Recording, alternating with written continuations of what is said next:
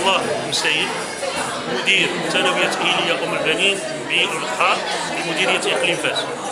المناسبة اليوم 30 مارس 2017 هي احتفال هذه الثانوية العريقة بالذكرى الثمانية لتأسيسها حقيقة من خلال هذا الاحتفال نريد أن نحقق مجموعة من الغايات. أولا نستحضر الوجوه الطيبة التي سبق اشتغلت هنا. كما نتذكر الإنجازات الذين وقفوا وراء هذه الإنجازات في تاريخ هذه المؤسسة العريقة.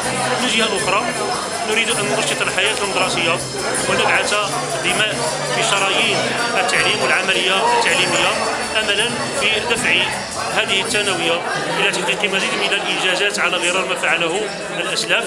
ونتمنى التوفيق الجميع ونرحب بكم.